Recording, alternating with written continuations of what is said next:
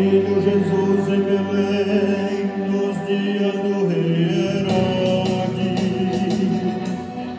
chegaram do Oriente três reis magos dizendo: Onde está o rei dos judeus que acaba de nascer? Porque vimos sua estrela no Oriente.